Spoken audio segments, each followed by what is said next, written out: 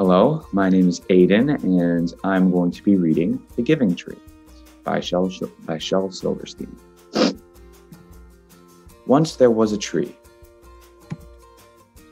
and she loved a little boy.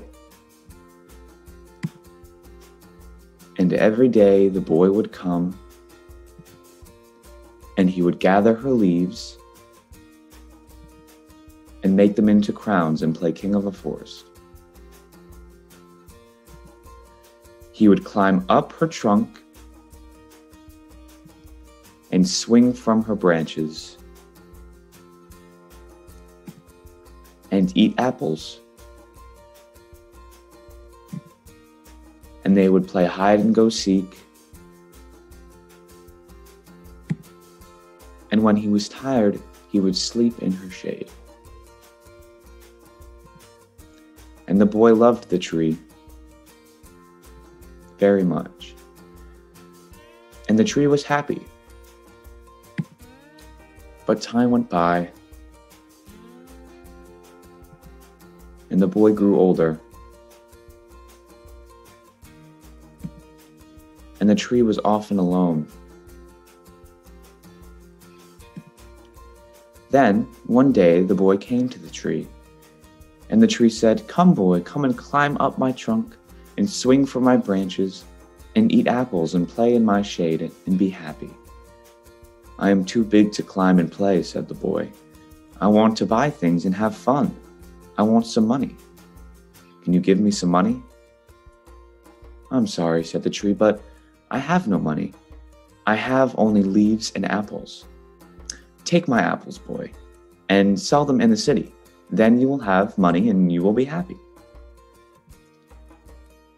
And so the boy climbed up the tree and gathered her apples and carried them away. And the tree was happy. But the boy stayed away for a long time, and the tree was sad. And then one day the boy came back, and the tree shook with joy, and she said, Come, boy, climb up my trunk and swing from my branches and be happy. I'm too busy to climb trees, said the boy. I want a house to keep me warm, he said. I want a wife and I want children, and so I need a house. Can you give me a house?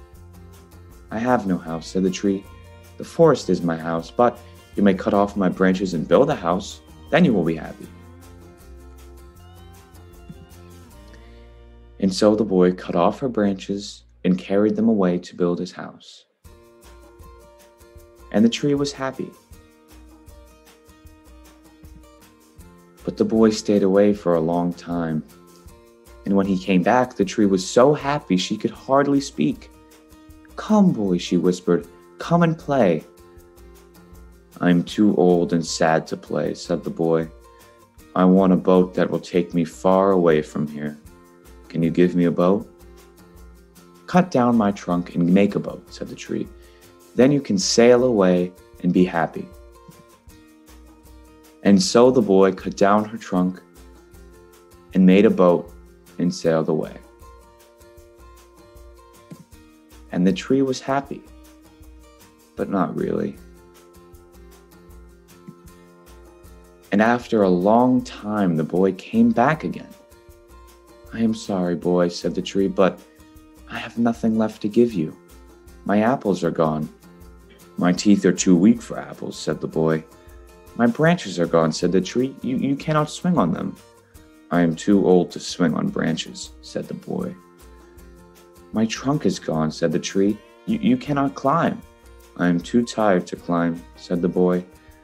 I am sorry, sighed the tree.